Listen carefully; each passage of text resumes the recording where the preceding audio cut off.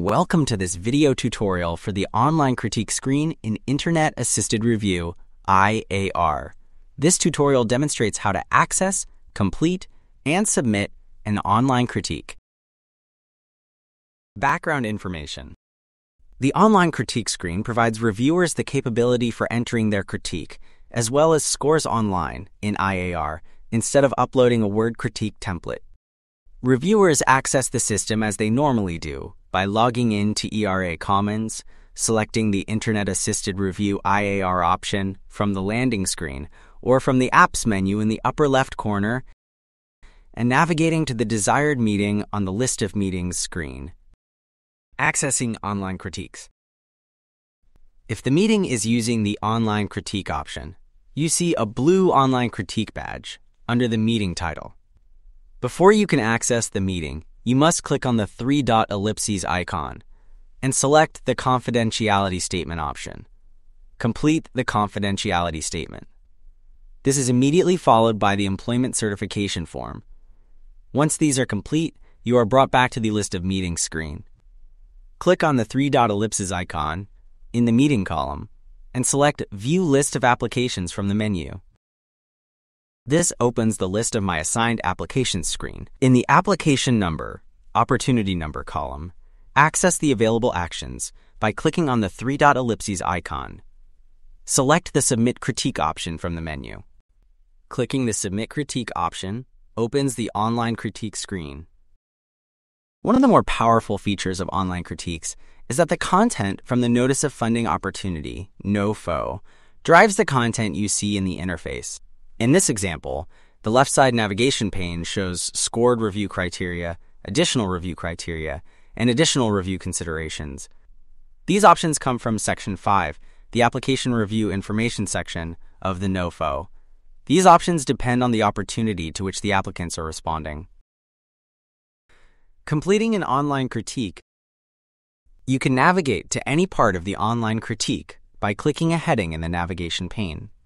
So, if you want to examine protection for human subjects, simply click on that heading, and the system displays that section of the online critique. As you enter text in the different sections of the online critique, information on the particular review criteria from the NOFO is displayed at the top for your convenience. This makes it easy for you to see the review criteria you need to guide you as you formulate the strengths and weaknesses of the application. The system displays the first 300 characters with the option to read more if you need to see all the information provided. Text boxes have a robust editing menu that appears as soon as the cursor is placed in the text box. Text boxes default to a bulleted list and will expand automatically as you add content, making it convenient for you to see your entire response. One of the strongest features of the editing menu is the ability to add special characters, such as Greek alphabet letters, and common symbols, such as the copyright symbol. Using the built in editor ensures the desired symbol or Greek character is displayed when the final document is rendered. Using keyboard shortcuts or copy and paste functionality can result in those special characters being lost when the data is saved and when the final documents are rendered. Another time saving feature of the module is that as you complete the strengths and weaknesses of each criterion, you can provide your criterion and overall impact scores in the same interface at the same time. To provide you with the maximum amount of space to work with, the side navigation pane can be collapsed by clicking the close icon in the upper right corner of the navigation pane. When you are ready, click the icon again to expand the navigation pane.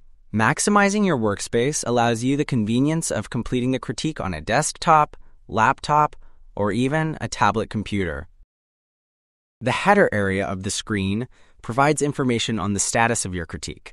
If you have finished part of the critique and have not yet submitted it, you see the word draft after the name of the PI. Similarly, if the critique has been submitted, the word submitted appears after the PI's name. There is a link to the actual NOFO so the full text of the opportunity is easily available to you. To ensure you always know what application you are working on, there are some neat features included in the interface. First, the PI name and the grant number are displayed in the Browser tab as well as at the top of the screen. The application title and the reviewer assignment role are also listed. Clicking the grant number will take you to the application folder where you can find additional information about the application if needed. Note that the gray summary box at the top moves with you as you scroll down through the review criteria sections. This way, you are always aware of the application you are reviewing. The navigation buttons in the gray summary box provide you with quick and readily accessible options. The Open All button expands all the review criteria sections. Similarly, the Close All button collapses all the criteria sections. Top brings you back to the top of the window. Print will print the information displayed on the screen. Cancel will close this online critique window and bring you back to the list of my assigned application screen. Finally, there is the Edit button. If you are partly finished with the critique and then return to complete it later, clicking Edit permits you to edit the overall impact section, as well as the other sections. Information entered is automatically saved every minute to ensure your work is not lost accidentally. Additionally, if you move from one text box to another, the system saves your work even if it is less than a minute from the last autosave period. The time and date the information was last saved appears in the gray box. When you have completed working on the critique and scores, you can click Save, leaving you on the online critique screen and making the critique a work in progress. You can click Save and Exit, which will take you back to the list of my assigned applications screen. From here, you can click the three dot ellipses icon and choose Delete Critique if you want to delete all the information in the critique for that application. You are presented with the Delete Critique Score window. This gives you the chance to review the information before deleting your critique and scores. Click Delete Critique in the bottom right to complete the action. Note that this action cannot be undone.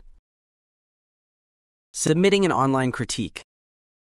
Once you have completed the critique of the application and entered scores, you can click Submit. At this point, the system will run some basic validations to ensure all the provided components have been completed. If something is incomplete, you will have the option to go back and complete them or submit despite the warnings, depending on the scenario. When you do submit the critique, you are presented with the traditional Submit Critique and Preliminary Scores screen, showing your scores. Clicking Cancel takes you back to edit the critique, or you can confirm your scores using the Confirm button. The status of the critique is then displayed as submitted. Should you come back to your submitted critique to make additional changes, you can select Submit Critique from the three dot ellipses icon. Use the Edit button so you can make the changes you need to make. You see the status is changed to Unsubmitted Draft and the Submit button has changed to Resubmit. If you resubmit, you repeat the confirmation process as previously described and the status reverts to submitted. Resources A variety of resources are available to you should you need assistance with online critiques. If you still need help, contact your scientific review officer or the ERA service desk. This concludes this video tutorial on the online critique, demonstrating how to access, complete, and submit an online critique. Thank you for watching.